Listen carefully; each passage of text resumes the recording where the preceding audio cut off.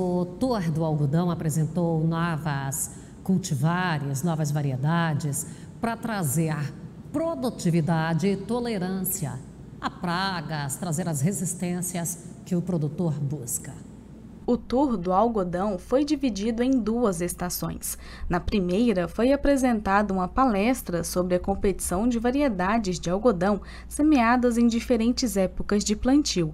Na segunda, o tema foi o potencial produtivo de cultivares de algodão em função de épocas de semeadura e densidade de plantas. Esse é o principal objetivo do IGA. Ele foi criado com, com esse propósito, né, de, de apresentar uh, os trabalhos aos produtores, né? Então a gente está aqui no campo hoje com diversos produtores aí que atenderam o nosso chamado, vieram nos acompanhar e estão vendo aqui um trabalho maravilhoso, bons ensaios bem, bem implantados. Temos um dia muito proveitoso aqui de coleta de informações. Foram exibidas 20 variedades mescladas entre ciclo tardio e precoce, expressividade produtiva, densidade e qualidade de fibra. Diferentes manejos foram realizados em épocas distintas para demonstrar na prática quais cultivares têm o melhor desempenho.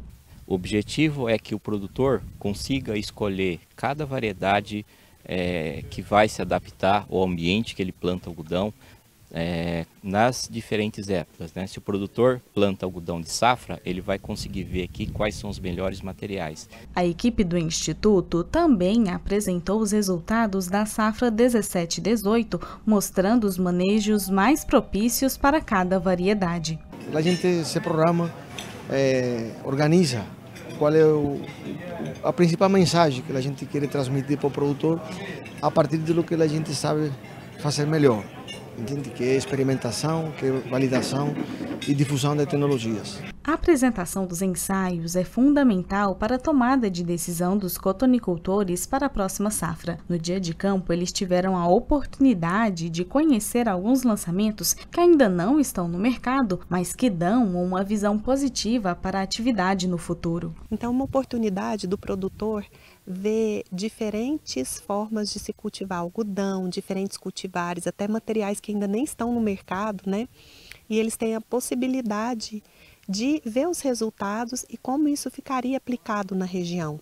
Então é uma forma deles ganharem tempo, ganharem confiança em determinados materiais, cultivares e até algumas formas de manejar o algodão.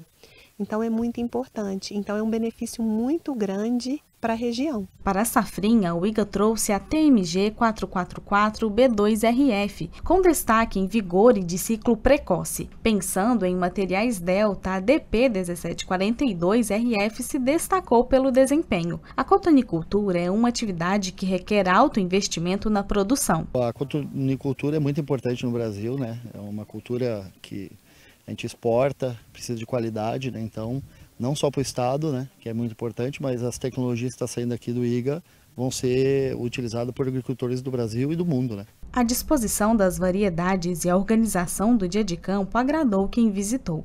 A conversa direta e troca de informações entre pesquisador e cotonicultor agradaram. É uma equipe muito qualificada né? e isso traz muita confiança porque uma coisa é quando você tem a questão comercial, que cada empresa ela tem a tendência de vender o seu material. E aqui a gente tem todos os materiais que estão no mercado, tendo o mesmo tratamento e tendo a posição técnica independente dos, dos pesquisadores e dos agrônomos aqui do IGA. Isso é muito positivo dá muita confiança para a gente de que a escolha ela está bem fundamentada.